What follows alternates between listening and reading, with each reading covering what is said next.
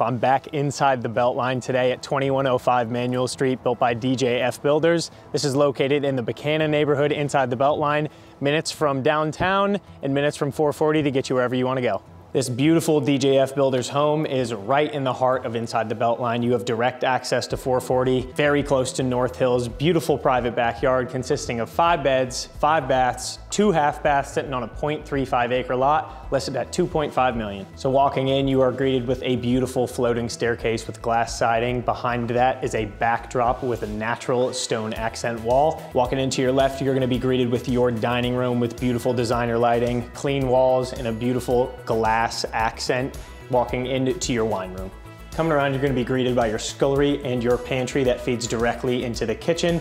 Quartz countertops in here, as well as quartz countertops with your microwave inside your pantry. Into the best part of the home, in my opinion, you are walking into the kitchen. We have split refrigerator, sub-zero refrigerators over here. One side's gonna be your freezer. You have a quartz countertop island with dual waterfalls, as well as under cabinetry for any storage that you could possibly need. And you also have a Thermador cooktop and double oven.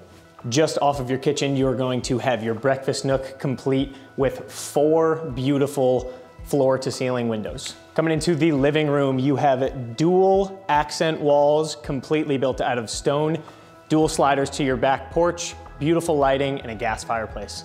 Coming off of your living room, you have a covered porch, no screens here, but a beautiful entry to your backyard with tile steps going down, as well as another gas fireplace. As soon as you come in the home and take a right, you're greeted by a beautiful office with triple bay windows letting in all that natural light, as well as plenty of storage behind you with all your built-ins. Just down the hall, you have your powder room, complete with a floating vanity, as well as a beautiful accent wall. Just around the corner, you're greeted with your first floor guest suite, completed with a walk-in closet and an ensuite bathroom with tile tile shower, floor to ceiling. As soon as you get at the top of the stairs, you're greeted by a beautiful floating hallway with multiple windows to let in all that natural light. Other side of the home, you have a flex space library. Again, Big bay windows let in all that natural light, vaulted ceilings, smooth walls, minimalistic. Just off your library or flex space, you have your primary suite. This is a very, very beautiful primary suite, complete with vaulted ceilings again. You have those triple bay windows yet again, and you also have a remote control fan. Walking into your primary bathroom, you have marble floors, you have split dual vanities, freestanding tub,